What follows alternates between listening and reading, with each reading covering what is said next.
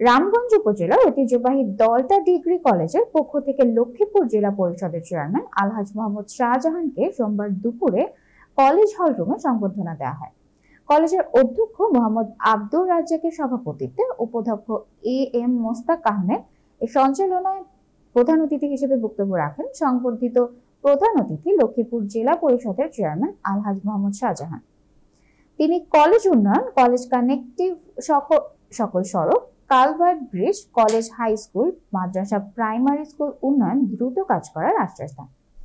এ সময় উপস্থিত থেকে বক্তব্য রাখেন কলেজের বিদ্যুৎসাহী সদস্য Belal Khan Pathan, Akbar Hossain Sumon, UP chairman Abul Hossain Mithu, UP Awami লীগের সাধারণ সম্পাদক মোস্তফা জামাল মুকুল সহ আরও অনেকে। সকলে মিলে যে কোনো সময় দেশের পরিস্থিতি, পরিবেশে আমরা আরও ভালোভাবে আনুষ্ঠানিকতা করে পারব এবং আমাদের মাননীয় সংসদ সাহেবকে আমরা উনি কলেজের গভর্নিং বডির সভাপতি হওয়ার পরে এমপি হওয়ার পরে হয় আনুষ্ঠানিকভাবে আনতে পারি সম্বোধনাও দিতে পারি আমি মনে করি এমপি সাহেবের সাথে আমার আলাপ হয়েছে। কলেজ কানেক্টিং যে সমস্ত রাস্তাগুলো আছে, সমস্ত কিছু আমরা উল্লেখ করি। এমপি সাহেব সহ এলাকার যেগুলো চিহ্নিত করে